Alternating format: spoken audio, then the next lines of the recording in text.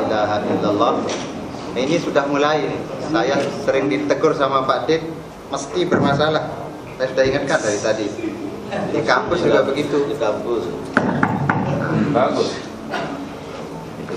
Asyhadu an la ilaha illallah wa asyhadu anna Muhammadan abduhu wa rasuluh. Allahumma salli wa sallim wa barik ala nabiyyina wa rasulina Muhammadin sallallahu alaihi wasallam wa ala alihi wa ashabihi wa man tabi'al huda ila yaumil qiyamah. Bapak Profesor Dr. Din Samsudin yang sama-sama kita hormati. Ini Pak Rektor, ini Pak Rektor sudah ada namanya ini Pak Rektor. Bapak penasehat pimpinan wilayah Muhammadiyah. Ada Bapak kita Bapak Insinyur Haji Subhan sama-sama kita hormati. Bapak-bapak pimpinan daerah Muhammadiyah. Yang saya lihat ada ini pimpinan daerah Muhammadiyah Lombok Tengah Rob ketuanya kemudian Lombok Timur Ustadz Malik yang putra beliau ada di Dea Malela Kemudian ada juga pimpinan daerah Muhammadiyah Kota Mataram. Saya lihat tadi juga sudah hadir. Bapak-bapak pimpinan wilayah, ibu-ibu Aisyah, singkatnya hadirin hadirat rahimakumullah. Alhamdulillahirabbil alamin. Pada malam hari ini kita mendapatkan momentum yang cukup berharga strategis karena kita kedatangan tamu orang tua kita, pembina kita, guru kita, Bapak Profesor Dr. Din Samsudin. Kesempatan ini saya sebut strategis karena jarang kita dapatkan waktu yang begitu penuh, yang begitu padat bagi beliau. Tetapi pada malam hari ini kita bersyukur karena beliau sudah meluangkan waktu untuk bisa bersilaturahim dengan kita semuanya. Untuk itu, atas nama pimpinan wilayah Muhammadiyah kami mengucapkan banyak-banyak terima kasih kepada Profesor Dr. Din Samsudin yang sudah berkenan meluangkan waktu untuk bersilaturahim dengan kita semuanya. Melalui kesempatan ini juga Bapak-bapak, Ibu-ibu, atas nama pimpinan wilayah Muhammadiyah.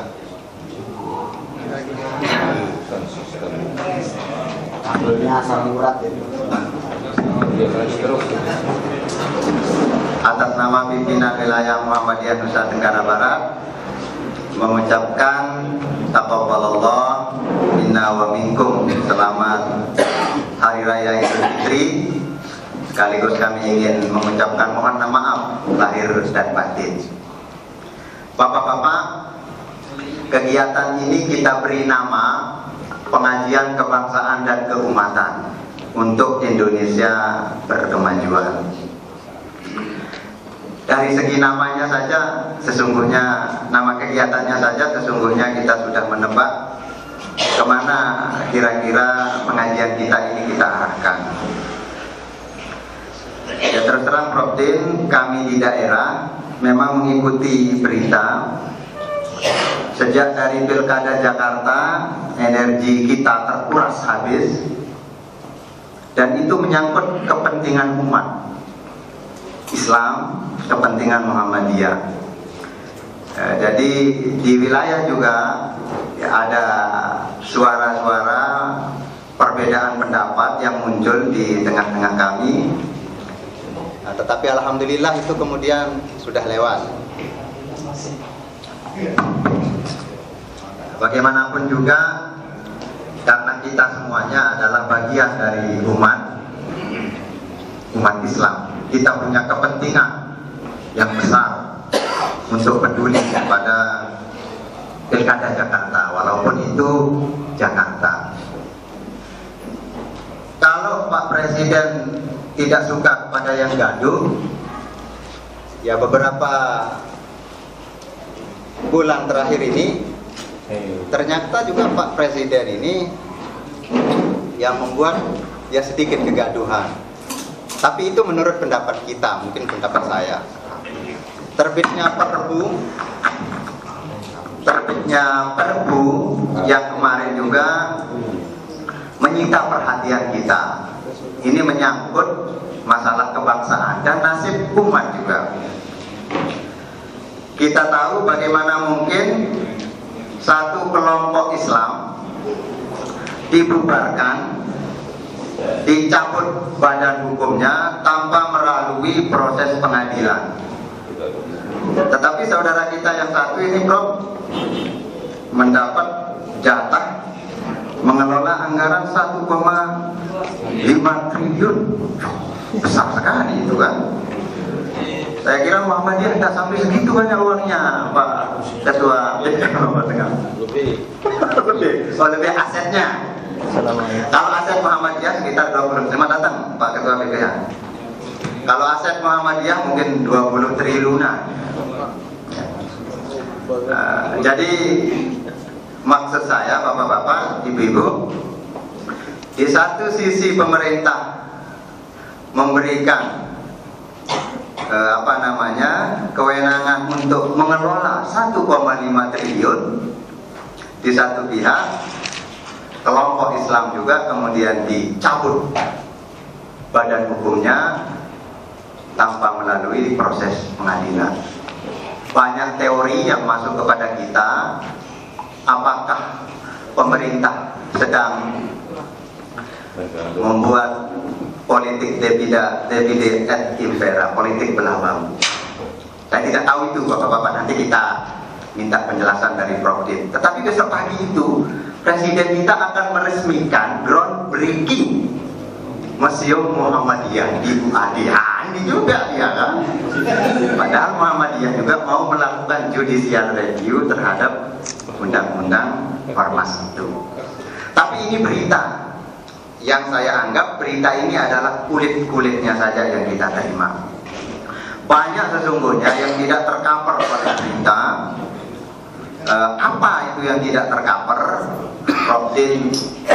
pasti tahu itulah nanti yang coba kita minta kepada beliau apa sih sesungguhnya yang terjadi di dalam kehidupan kebangsaan dan keumatan kita ini. Setelah itu nanti apa yang mesti kita lakukan sebagai bagian dari umat sebagai bagian dari elemen bangsa kita ini di dalam rangka untuk mendukung Indonesia yang berkemajuan. Saya kira itu kira-kira Bapak-bapak Ibu pengajian kita pada malam hari ini. Sebelum saya serahkan ke Prof. Din, ada pertanyaan Ya. Sampai jam 10 Prof ya? Lebih juga Ah, Prof. Din memberikan waktu bagi kita untuk mengajukan pertanyaan, klarifikasi, bahkan minta informasi sesungguhnya seperti apa. Beliau juga sudah ditawarkan untuk masuk ke dalam anggota apa namanya UP3 apa ya Pancasila Pancasila itu. Nah, saya heran sama Pak Jokowi itu senangnya aku Pancasila itu aku Indonesia aku Pancasila. Nah sekarang aku hukum, nah, kan aku akunya itu kan. Saya Pancasila, saya Indonesia. Nah sekarang saya hukum, nah, saya perhukum. Ya, saya Jokowi, saya Pancasila saya Indonesia. Dan yang mana itu saya Pancasila. Ini ada yang ahli-ahli bahasa saya tidak mau mengulas itu. Nah bapak-bapak ibu e, marilah sekarang kita dengarkan secara seksama apa yang disampaikan oleh Prof. Din. Setelah selesai nanti saya mohon nanti dipersiapkan pertanyaannya mudah-mudahan bisa disingkat. Karena Prof. Din ini capek sekarang ada kita pada posisi jam 8 20 menit nanti kita berikan beliau sampai jam setengah sepuluh eh jam 9.30 ya, jam setengah sepuluh itu. Ada space waktu 30 menit untuk kita berdialog. Karena beliau sudah menyampaikan tadi istirahat capek ya supaya tidak menguras energi beliau karena beliau juga banyak kegiatan untuk esok harinya. Saya kira itu sebagai pengantar dari saya. Untuk selanjutnya saya persilakan kepada Prof.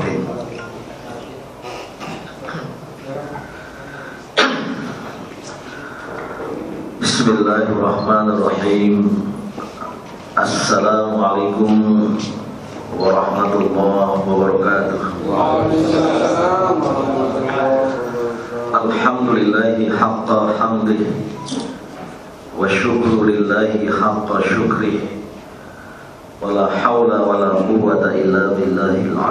azim. Yang saya hormati penasehat PWM juga PPH Rektor UMM Umat Umat, umat ya. Singkatnya umat Kalau terlatih singkatannya umum Ketua PWM dan segenap anggota PWM hadir. Bapak-bapak, ibu-ibu dari PDM Aisyah, Orto-Orto Muhammadiyah Semuanya, semoga kita semua dirahmati Allah Subhanahu wa taala. Alhamdulillah malam ini kita dapat bersilaturahim. Saya menjadi tamu yang minta diundang. Jadi bukan karena undangan PWM, tapi yang minta untuk diundang adakan acara saya sendiri. Sebenarnya sempat direncanakan beberapa waktu lalu ya waktu kunjungan saya terakhir ke Sumbawa namun agak susah waktunya. Ini pun agak mendadak kalau tidak salah dua hari lalu ya. Karena siogianya saya baru tiba dari Korea hari ini. Dari Sumbawa 17 dan terakhir saya di cabang Kertek Wonosobo. Masuk ke Korea 17 karena 18, 19, 20 menghadiri Korea Halal Summit di Busan. Terbang satu jam lagi dari Seoul. Dan menurut rencana baru tiba tadi pagi dan baru besok pagi insya Allah saya ke Mataram. Menggunakan Pak Abdullah dan kawan-kawan untuk silaturahim Idul Fitri IKS Sepuluh Lombok Ikatan Keluarga Samawa. Namun karena sesuatu hal tidak jadi ke Korea Dia bisa lebih awal tiba di Mataram. Tadi saya dengar pertanyaannya berat-berat semua ya. Seperti memuji calon dokter dari pertanyaan yang beruntun dan semuanya berat-berat. Itu kalau disiplin ilmunya ada ilmu politiknya, ada sosiologinya, ada antropologinya masuk ke semua.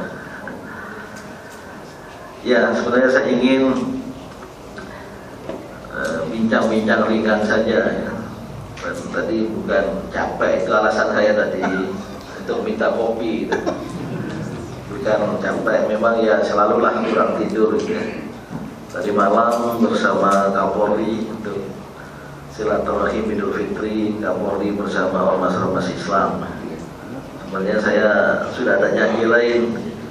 Tadi malam itu sudah terjadwal agak lama makan malam sama Pak Badrudin Haiti mantan Kapolri.